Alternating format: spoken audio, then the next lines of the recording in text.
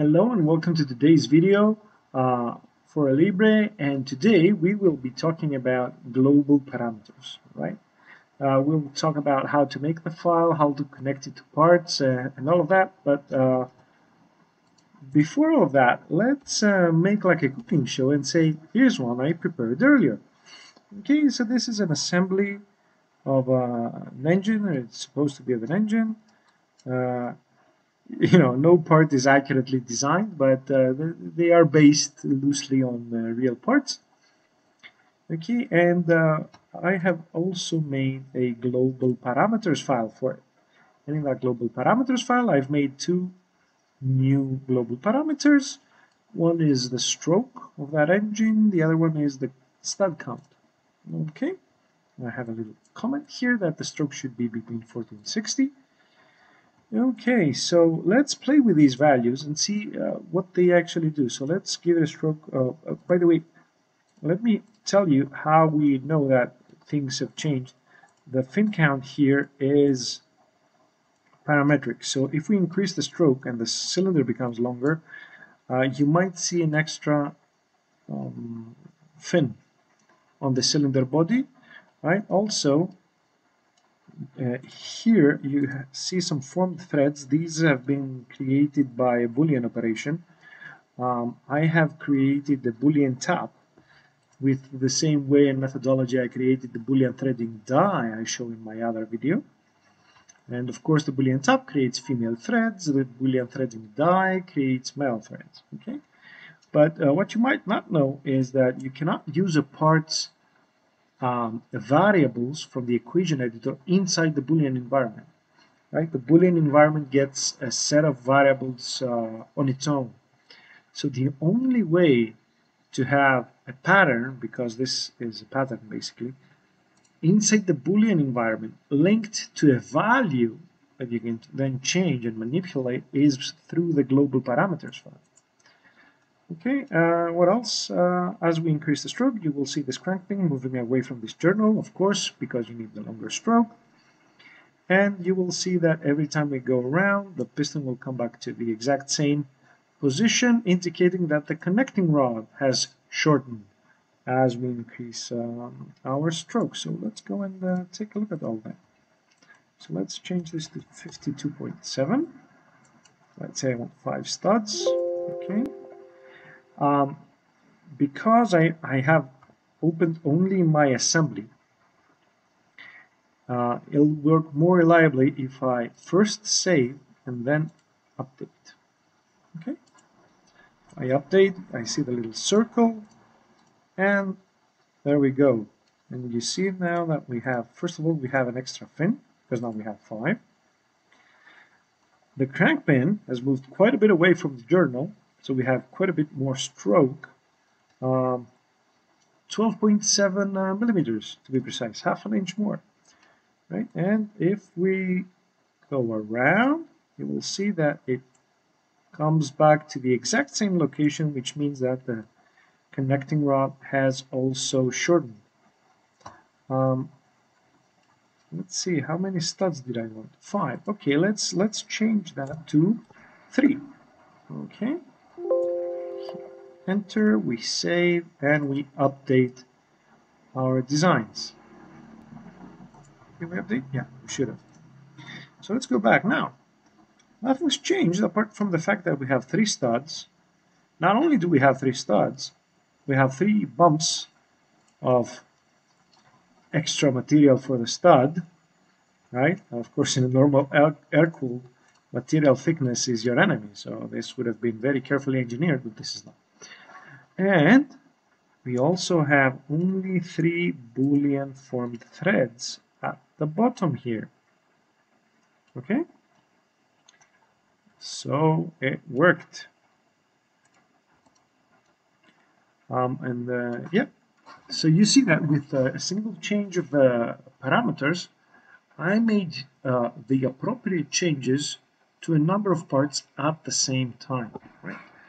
Okay, so that's uh, all well and good, but let's make something from scratch and uh, see how that works. Um, okay, so let's see, what are we going to do? Let's start on the ZX plane.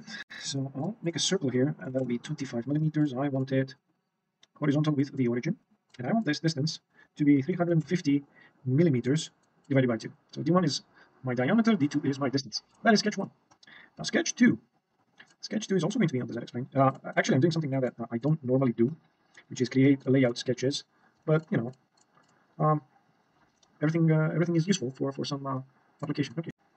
Um, now I want to sketch on the XY, uh, sorry, XY plane. There we go. And uh, I'm going to project these two sketches in. Okay, what I'm going to do is I'm going to make a semicircle above, right? Okay. Now on the inside, I want to be a bit more creative. Uh, you will see what I'm doing here, right? Uh, again, I am being very, very cheeky. Okay, so uh, I want to make these reference figures, and I want to say that this angle is 45 degrees. And then I want to make these two reference lines. I want to say that this angle is 15 degrees. Okay. Oh, okay. And then I'm going to use my midpoint constraint trick and say that. Oh? No, I don't need to. Do I need to? Yeah, I'm going to use it and say that. I'm defining a linear segment here, and I'm saying that this is always on the uh, perpendicular bisector. So if I change this to 20, yeah, that, that works the way I want it to work. Okay, um, let's also create a mirror line here. These are all things I don't recommend people doing, right? But I am doing them now. And this is going to be really, really fun. And now I'm going to do yet another thing that I don't recommend people do. Uh, filleting in Sketch. I'm going to fillet these, yeah, 20 millimeters fine. Okay. So let's fillet this again in Sketch. Okay, let's, yeah, 20, that. Now I'm going to make the ends of this uh, arc horizontal with each other. Okay. And uh, I also need to make this tangent to that. Okay, I think, yeah, yeah, that works as expected. So what do we want to do now? Uh, we want it to bulge out a bit, so I guess less, yeah. Yeah, less is, uh, less works. But these two lines now. Oh yeah, okay, so let's make these. Okay, now we're fully defined. That's cool. 30, at least 30 degrees. Okay, we're getting there, we're getting there. Ah, 25. I like the shape. So now I'm going to mirror all of these sketch entities around this axis, which means I should be getting a complete uh, and continuous sketch. Oh, did I did I do it all in the same sketch again? I did, didn't I? Hmm. Okay, no matter. I will show you a trick when you want to split one sketch into two. Right. So now I'm going to select all of these sketch entities and turn them into a reference geometry. Okay. Uh, I missed this one, and I missed this one. Okay. So I'll hit OK, right? And now I'll make another sketch in the same plane, project this one, create reference figures. I want to project the reference figures as well. Okay, and now I will convert back to normal figures, everything that I need for the second sketch. Um, again, this, this video is full of things that I don't recommend you do, but there we go. But we've we lost a few of them. So I make this, and I also make this, and I also make this. Okay. So another thing that we're going to do now is uh, I'm going to create another, yet another sketch in the XY plane. So let's reject sketch one, but I want to maintain the association type, but I don't want reference figures. And I'm going to make the arc and uh, this needs to be a semicircle. Oh, and this needs to be a reference figure. I think uh, I'm good. I think I'm good to go. So let's uh, start lofting now. I want to select these two uh, sketches as the cross sections, and of course it doesn't do anything because you cannot loft in the same plane, right? It won't work. And now I'm going to tell it that I'm going to use local guides, right? Not not uh, global, not center line, not tangent, local guides. That way you can use more than one. So my local guides are going to be this sketch and this sketch. can you tell what I'm heading at?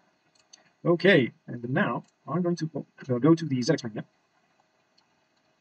Right. So we should, okay, so I'm going to project this edge. Ah, I need that to be actual geometry, not reference. Okay, that's why I did that. So yeah, this is going to be my path. Okay. Ah, I bet, I bet you, you know where this is going. Okay, now we're going to uh, define a plane. That's, I don't know, 14 millimeters away from that. 16. 75. There you go.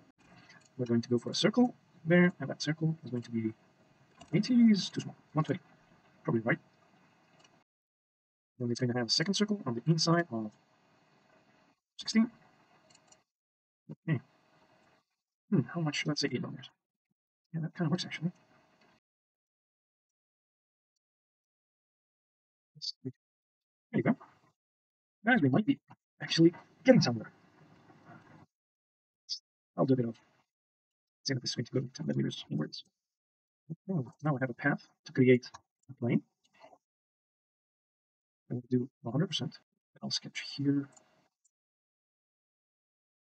This eight layers here. That. And this is going to be 30. I'll make another plane at the end here. That is going to be another rectangle. 8 millimeters again. This time this is going to be 17. That's too much. Let's say 60. Here. Oh, this is too steep. Okay. I need to flip this. To get my work. So loft. We loft these two profiles and this is our center line. Okay, and now we mirror. Let's this. Okay, okay, that works. Let's go and give these two faces face color. This is getting better and better. Fine.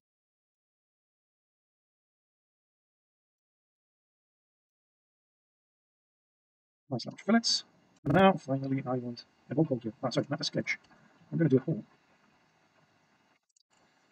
So this needs to be 6.9.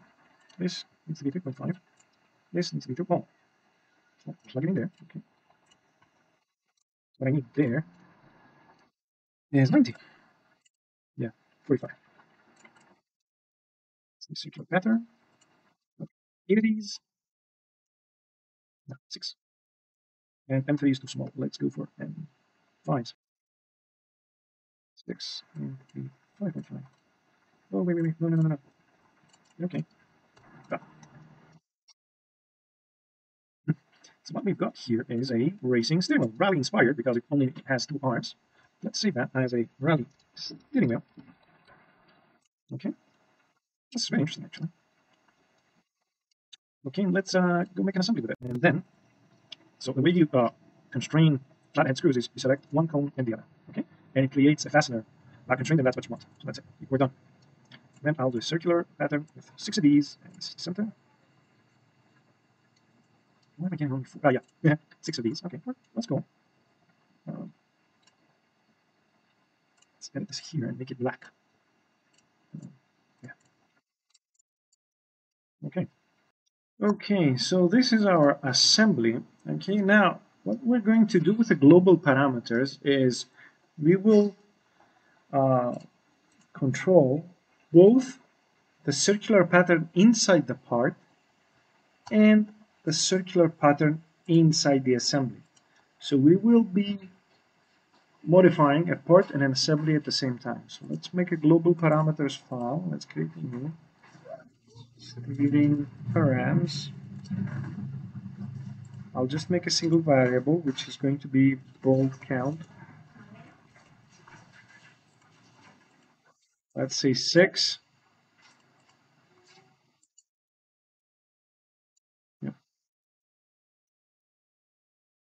Okay, that's in here. And now let's edit the steering wheel part. Now let's connect it. The steering parameters. Okay, now.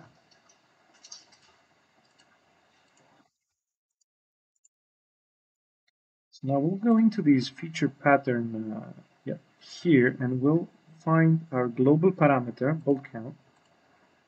Okay. And that's it basically.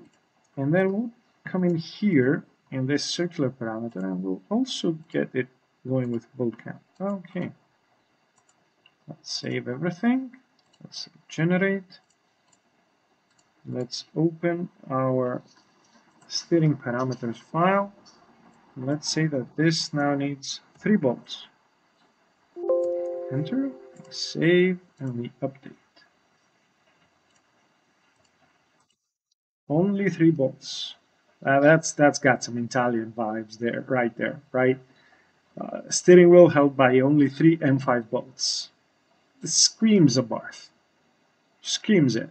So, there you go. That's uh, something you can do with um, global parameters. Uh, I hope you liked it. If you did, please subscribe. More videos like that heading your way. Uh, uh, also hit the like button and if you didn't like it hit the dislike button and i hope i'll see you